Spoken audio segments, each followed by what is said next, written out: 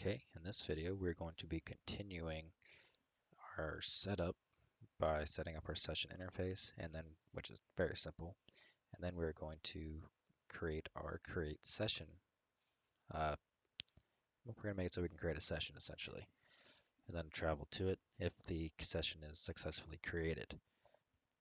So what we can do is in the init, we're going to do if i online subsystem subsystem equals i online subsystem get.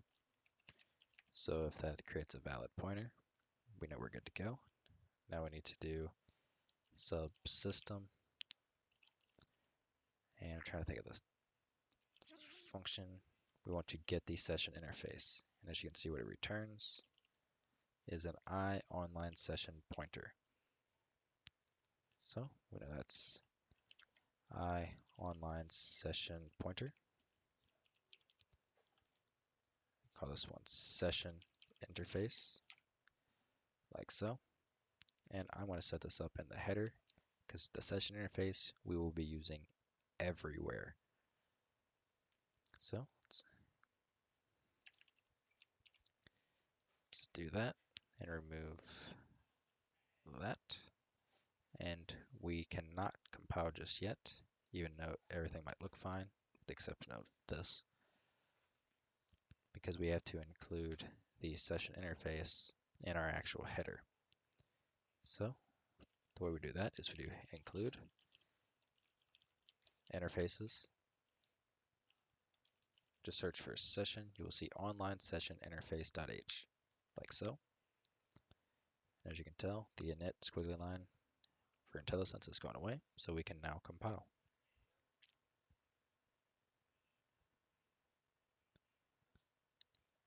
There we go. Now we can do it a check to make sure it's valid. So if session interface, sorry, dot is valid, then we continue. So here's where we would bind our delegates.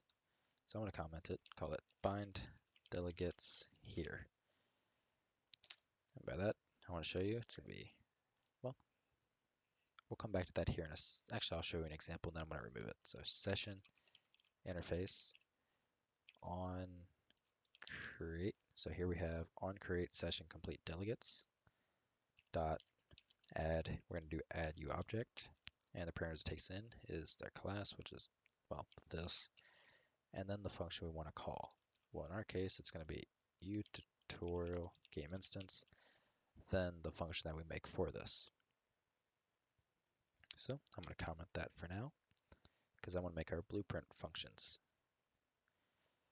So I'm going to do u function blueprint callable, call it void create server. I want to make another one, call it join server. And then create the definitions. Just like so. And compile.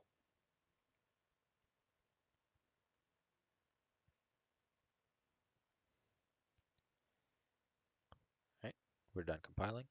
Now we can go back to our tutorial main menu widget, go to where we have our bound events for the button clicks, and drag off our game instance, do create server, because that's what we want to call. And here we can do join server, because that's what we want to call from this button. Compile, save, and we no longer need our widget. Now we can create our binding, our delegate. So we need to create a function for it to call when our create session is complete, essentially.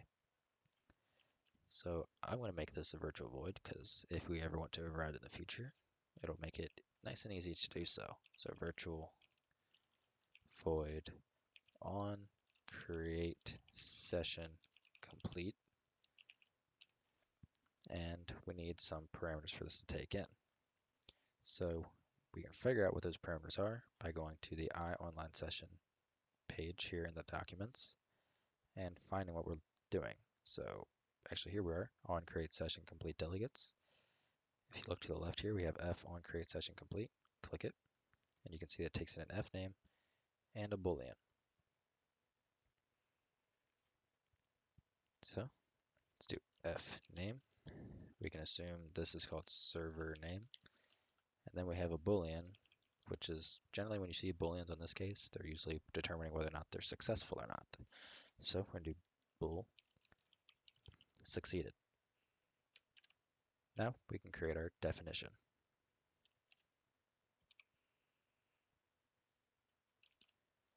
So I'm going to continue with our binding and set it to on create session complete. So on create session complete and semicolon, just like that. And that is literally all there is to that. Now, once our create session is completed, this will be fired. So I'm going to create a log here just so we can see it. So UE log.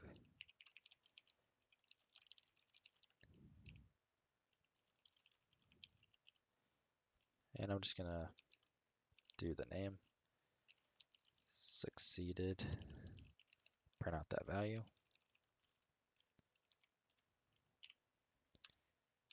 And call it a day on that for now.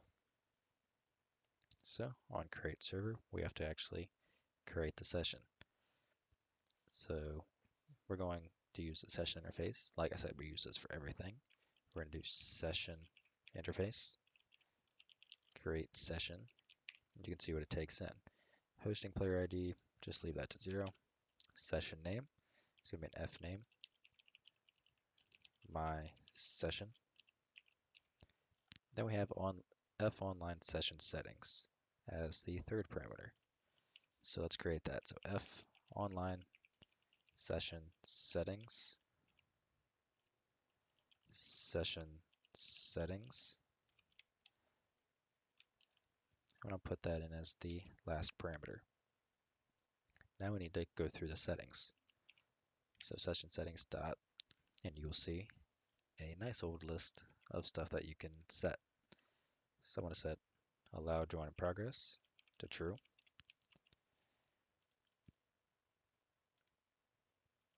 Is dedicated equals false. Is LAN match, I'm going to set to true because in our case it is, because I'm also just testing. When we use the Steam, we want setting this to false.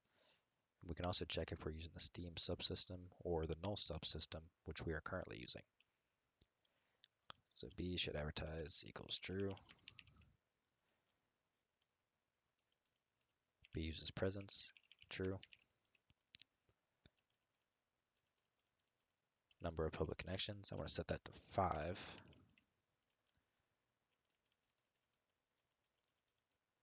And that is all for now. Okay. Now I'm going to print out one more quick Unreal Engine log, just so we know that we're creating the server and that it did fire. So I'm going to compile. And for this, we will be testing, well, at least I am anyways, outside of the editor. So what I've done is I've made a quick little batch file.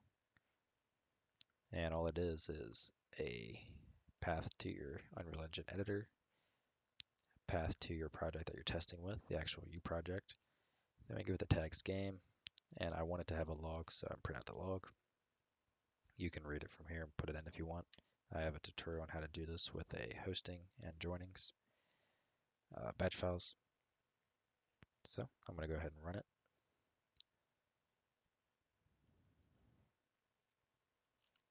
Here we have our log. So, let's hit create server. And you say morning create server, and then the on create session complete delegate was fired, and success was set to one, meaning the session was successful. Actually, there's something I want to show you real quick. Uh, it automatically does little checks, essentially. So if you have multiple sessions up, you cannot continue to remake them. So I'm going to create the server. As you see, it's successful. I try to do it again, and it fails, saying, cannot create my session. The session already exists. So you pretty much have to destroy a session or use a different session name in order to create another one. But now that the session is created, we're going to do if succeeded. We want to server travel. So we're going to do get world.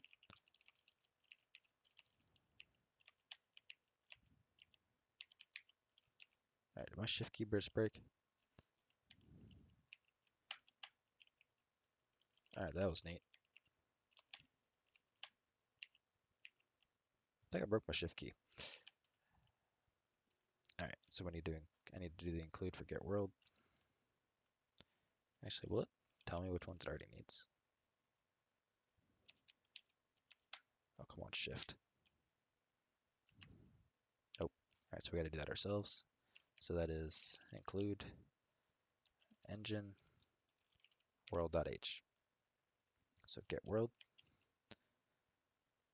I do server travel, then the URL we want to travel to. So that's going to be our level. Now I want to travel to my first person example map, being this one. Uh, I've already actually, since I said I've done this before, I'm going to remove the blueprint and the level blueprint that I've done, just to show you again. And I want to right click on my level that I want to go to, hit copy reference. So then we're going to paste it in here. We're going to remove everything in front of the first forward slash and everything after the period. And from here, we're going to do question mark, listen, and that would indicate that this is in fact a listen server. So I'm going to go ahead and compile. Compile was successful. And now if the server creation was successful, we should go to that map. All right, so here's our log create server. And as you see, we are good to go. Everything was done. We can tell the Steamworks stuff failed because we were we're not using it.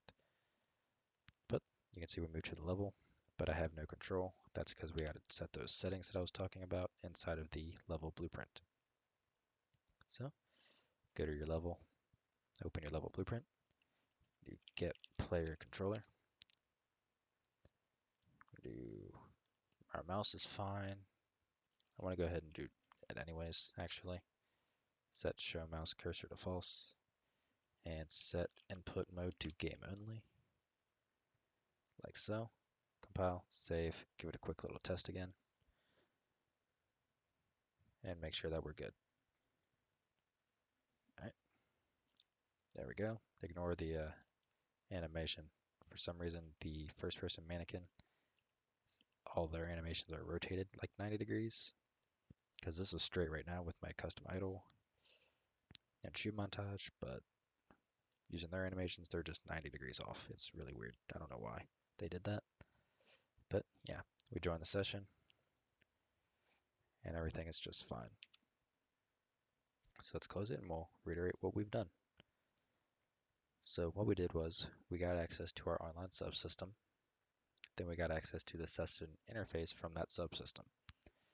So then what we wanted to do was we wanted to bind a delegate. So pretty much a function that fires once the session is finished being created, in our case, via this on create session complete delegates. So we wrote a custom function that takes in an f name and a boolean to indicate if the creation of the server was successful or not. From there, we check if it succeeded. If it was, then we server travel. Now what kicks off this event is our create server function that we set up to be blueprint callable, so we call it when our button is pressed from our widget. So what this does is we create our little structure here, session settings, and we set a bunch of just variables to what we want. So like for example, I want people to be able to join in progress even though the session started. This is not going to be a dedicated server, so we're just going to set it to false, and if it should advertise, that kind of thing. So from there, we use our session interface again. Like I said, we'll use it for everything. We're going to call create session. Parameters it takes in is our hosting player number. We're just using zero because we're the first index anyways. Doesn't really matter. We go to session name. Then we pass in the structure of session settings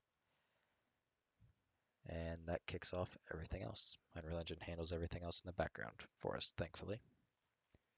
So Hopefully that was useful, and I will see you in the next one when we go through and actually find the sessions and print out the number of sessions that we have. So I'll see you then.